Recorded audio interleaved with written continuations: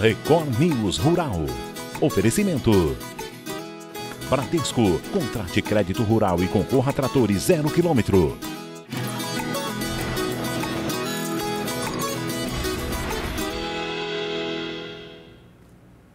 Oi, muito, muito bom dia para você. O Record News Rural está no ar e a gente abre essa edição falando das mudanças no Ministério da Agricultura. O senador Carlos Fávaro do Mato Grosso já assumiu o comando do ministério. O senador Carlos Fávaro, do PSD do Mato Grosso, assumiu o cargo de ministro da Agricultura e Pecuária. Autoridades participaram da cerimônia de posse. Durante o discurso, Fávaro afirmou que o combate à fome será um dos desafios da pasta. Quantos brasileiros não puderam almoçar hoje? E esse é o grande desafio que nós temos que enfrentar neste governo. É o primeiro dos desafios. O ministério foi desmembrado em três pastas: Ministério da Agricultura e Pecuária, Ministério do Desenvolvimento Agrário e Agricultura Familiar e Ministério da Agricultura e Pesca. A Embrapa e o INMET permanecem vinculados ao Ministério da Agricultura. A Embrapa, que deveria ter um, um memorial na porta de cada um dos 5.500 e poucos municípios brasileiros. Esta empresa que nós estamos aqui é a grande responsável para que o Brasil se tornasse um player quase que incomparável na produção de alimentos. A ciência, a tecnologia, a pesquisa fez com que o Brasil galgasse os caminhos e os patamares mais altos da produção de alimento deste mundo. Senador pelo estado do Mato Grosso, Fávaro foi um dos coordenadores do grupo técnico de agricultura durante o período da transição do governo Lula. Ele assumiu uma vaga no Senado em 2020. O ministro da Agricultura também já foi presidente da Associação dos Produtores de Soja e Milho do Mato Grosso e vice-governador do Mato Grosso. Vamos nos engajar em um grande programa de crescimento, da ordem talvez de 5% ao ano do incremento de área. Significa que em 20 anos dobraremos a área plantada brasileira sem derrubar uma árvore sequer. Uma árvore sequer. Gerando oportunidade, emprego, renda para as pessoas, fartura de alimentos, sustentabilidade sempre vocacionado a pequenos, médios e grandes produtores.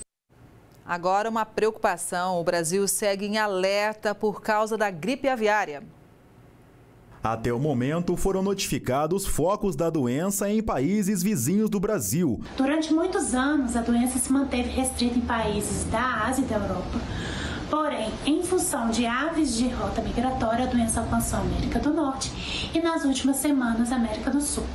Países como Colômbia, Venezuela, Equador e Peru notificaram nas últimas semanas a ocorrência de influenza aviária de alta patogenicidade. O Brasil, há muito tempo, faz um trabalho de prevenção da entrada da doença, prezando principalmente o isolamento das aves domésticas. A influenza aviária, também conhecida como gripe aviária, é uma doença viral altamente contagiosa que afeta principalmente aves domésticas e silvestres. Essa já é considerada a maior epidemia da doença ocorrida no mundo. A influenza aviária é uma doença viral aguda de rápida disseminação e que é transmitida principalmente pelo contato com aves de vida livre contaminadas pelo vírus. A transmissão pode ocorrer também pelo contato com materiais contaminados, veículos, roupas, calçados, mas ainda assim a principal forma de transmissão são as aves de vida livre. O período de maior migração de aves do hemisfério norte para a América do Sul vai de novembro a abril.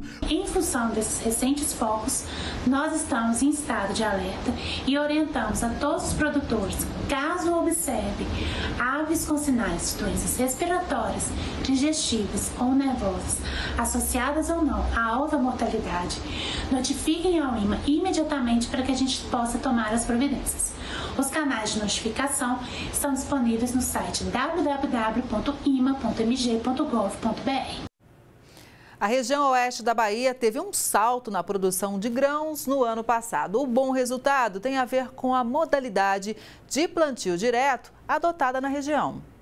Dados divulgados pela Superintendência dos Estudos Econômicos e Sociais da Bahia mostram que o oeste do estado contribuiu 4,8% do produto interno bruto do estado baiano no segundo trimestre de 2022. O agronegócio, aliás, foi um dos únicos setores a terem desempenho positivo. A região teve um bom rendimento com o sistema de plantio direto de grãos, como soja, milho e feijão. Informações indicam que grande parte da plantação recebe uma cobertura de palha, o que protege o terreno de possíveis erosões e chuvas intensas. Fatores que acabam contribuindo para a boa produtividade, sem necessidade de replantios e muitos tratos na terra. O sistema deve continuar neste ano e as expectativas são as melhores. A gente vai agora para Porto Velho, Rondônia. O repórter Davi Matos foi conhecer de perto como funciona uma granja de ovos de codorna e mostra os detalhes para gente.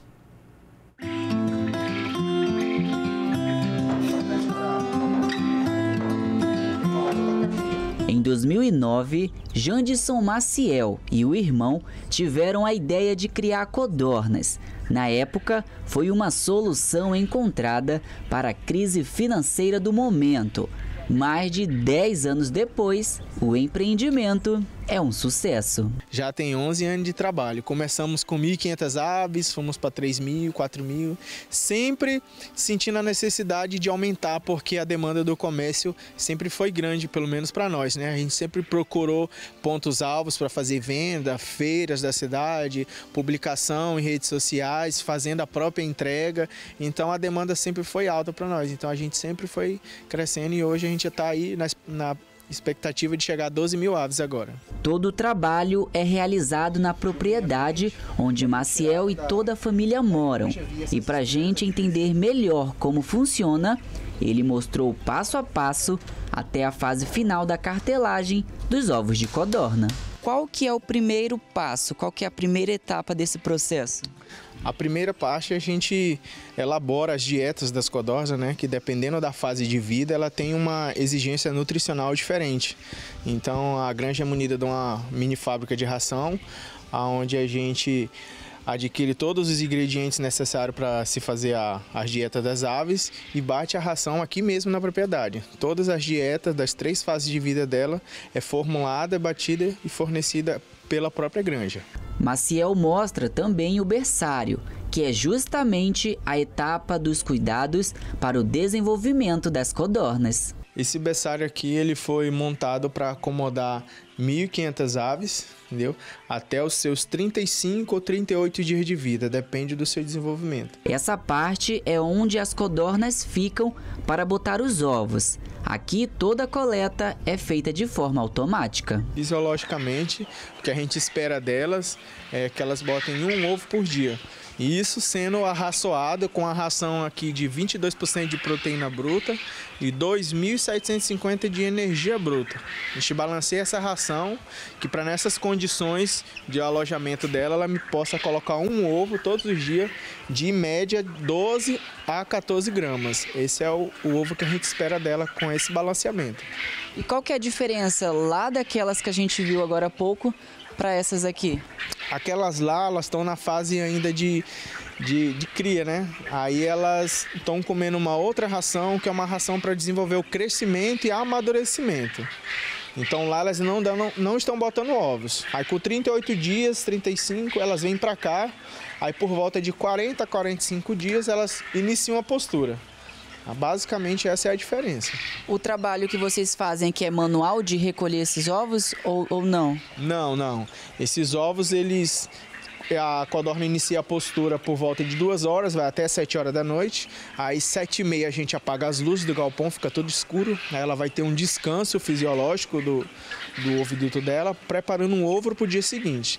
Aí no dia seguinte, sete horas da manhã, esse ovo é todo arrastado via essa fita aqui de polipropileno é arrastado lá para uma sala de encartelamento. Aí lá vai ser feito toda a parte de seleção dos ovos, os ovos de casca mole vão ser descartados.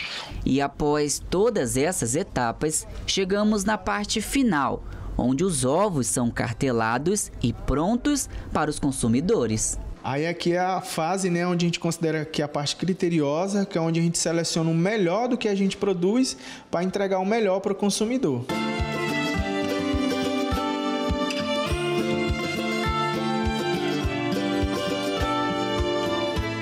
O óleo de argan do Marrocos é bastante valorizado pela indústria de cosméticos, mas o setor enfrenta um problema. O produto é feito principalmente por trabalhadores idosos, o que faz a indústria questionar até quando a prática artesanal vai continuar. Aqui nesta ilha portuária na costa atlântica do Marrocos, uma dúzia de mulheres trabalha para descascar as nozes de argan. Depois é necessário esmagar e extrair todo o óleo é uma mão de obra intensa que, claro, não chama a atenção dos mais jovens. Depois da seleção, as frutas ainda precisam ser torradas, moídas e prensadas. Mesmo com as propriedades famosas de anti-envelhecimento para pele e cabelo, o produto também é usado na culinária. Aqui nesta cooperativa são quase 80 mulheres trabalhando na extração e venda do produto. A maioria possui mais de 60 anos de idade. Empresários já tentaram mecanizar a extração, mas existe resistência dos trabalhadores. A experiência não foi muito positiva, já que o sabor sofreu alterações. Alguns acreditam que até mesmo as boas vibrações das trabalhadoras podem causar alterações no produto. A cooperativa produz cerca de mil litros de óleo por ano, o que dá cerca de 265 galões. A região também possui turismo e recebe pessoas do mundo inteiro que podem passear e ver como é feito o processo de extração. O Marrocos produz cerca de 5.640 toneladas de óleo anualmente e 40% desse número é destinado para exportação. O faturamento, segundo o Ministério de Agricultura do país, triplicou entre 2012 e 2019, atingindo cerca de 115 milhões de dólares.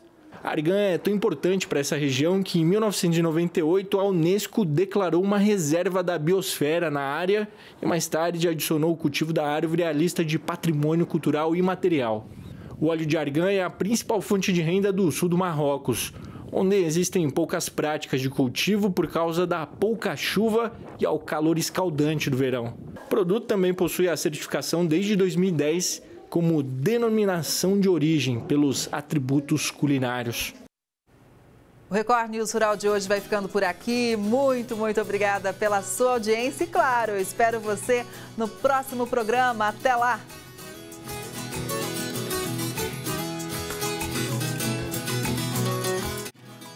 Record News Rural. Oferecimento. Bradesco. Contrate crédito rural e concorra a tratores zero quilômetro.